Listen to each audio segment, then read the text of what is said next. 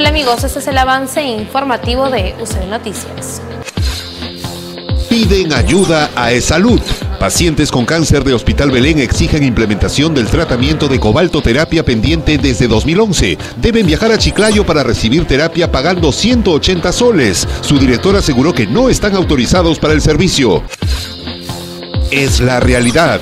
Hospital Regional registra 20% de ausentismo laboral de enfermeras debido a que la gran mayoría, al sobrepasar los 50 años de edad, solicita con frecuencia permiso por enfermedad.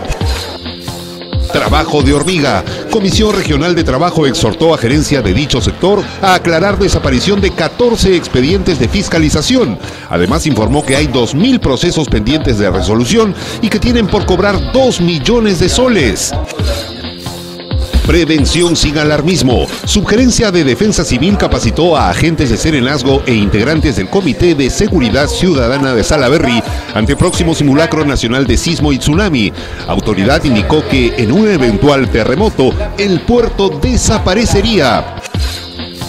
Aprovechen la oportunidad. 184 jóvenes fueron elegidos para integrar programa Beca 18, quienes iniciarán sus clases en universidades e institutos en próximos días. Responsables del programa visitarán sus viviendas para constatar su situación de extrema pobreza.